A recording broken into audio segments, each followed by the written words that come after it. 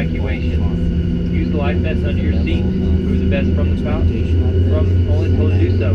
Pull the red strap of the container and remove the pouch. Remove the vest from the pouch as shown on your safety information card.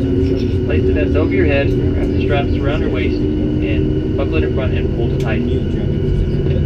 Once outside, pull down on the red tab to inflate the vest. To manually inflate, blow into the tube at your shoulder. Your vest has a light that turns on automatically in water. Please refer to the safety information card for the use of a life vest on an infant. Flight attendants will distribute additional life vests if needed. We are coming by to check that your seatbelt is fastened, your seat back and tray tables are full upright lock position, and your carry-out items are completely under the seat in front or in the overhead bin. Thankfully, they're in the overhead bin. Leaving the area around your feet clear. Smoking, including the use of electronic cigarettes, is not allowed on board, including lavatories. Federal law prohibits with tampering with, disabling, or destroying smoke detectors in an aircraft. It is also prohibited to consume alcohol that you have brought aboard with you on this flight.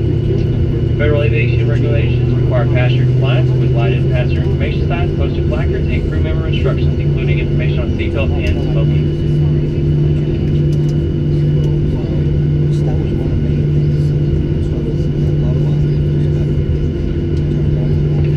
If needed, four oxygen mask will drop from the overhead compartment. To activate the flow of oxygen, pull down on the mask until the plastic tubing is fully extended. Place the mask over your nose and mouth and breathe normally. Secure the mask with the elastic strap.